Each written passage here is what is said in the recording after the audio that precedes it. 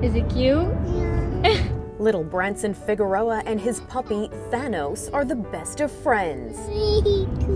He's cute? Yeah. Oh, he loves him. They sleep together every night. They cuddle. He calls him his baby. They also have something in common. You're doing so good. In October, Branson had surgery for a condition called craniosynostosis. You good boy. It occurs when a baby's skull closes before the brain is fully formed.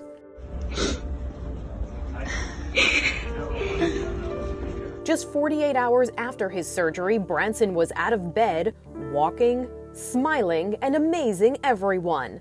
No, Baba. Ha, ha, ha.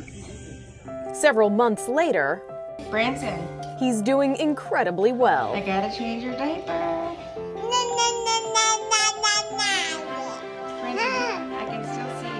We did a follow up with his neurosurgeon and plastic surgeon um, about two months ago, and they were really happy with his scar healing. Yeah, bud. He recently asked his parents for a puppy, and they just couldn't resist getting him one.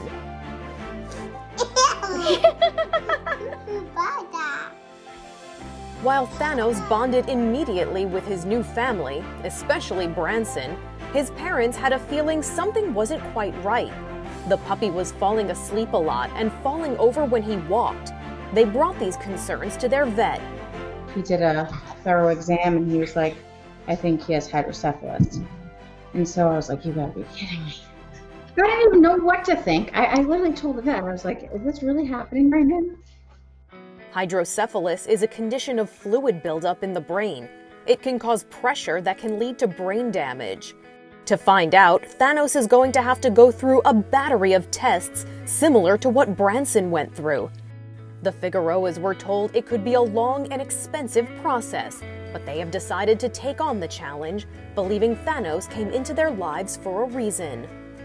Who knows? Maybe it's because he may not have had a chance with someone else because they might not have known the neurological signs. I just feel like he he's meant to be with us and I'll fight and do whatever I can, you know. A GoFundMe page was set up to help them with the costs of Thanos' tests and treatments. And Branson will be with Thanos the whole time, Is it cute? showing him that he can make it through this road ahead. He's cute. For InsideEdition.com, I'm Mara Montalbano.